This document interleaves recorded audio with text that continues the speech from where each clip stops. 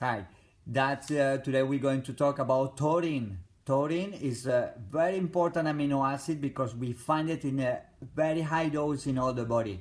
Actually, it's the amino acid that is more abundant in our body, but it declines as we age. Taurine, we find it in very high dose in the brain, in the heart, even in the eyes is a very an essential amino acid for the eye health.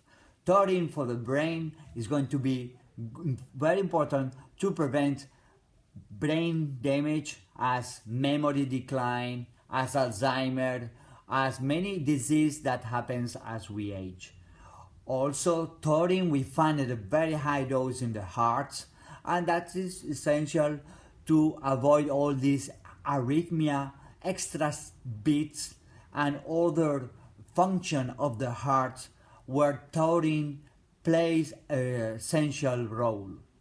Also for the eye, we see that taurine has a very good effect on glaucoma, on many diseases of the eye, where taurine can make better the microcirculation.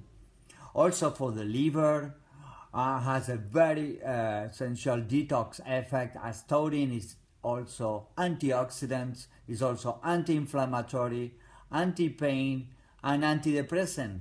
So today, remember to have a good quality of aging, you need a good dose of taurine there by mouth. Today we take it normally up to 30 gram a day sometimes. Hmm? So remember the taurine need to be there to have a good quality of aging. So that's all from Spain. See you soon. Bye bye.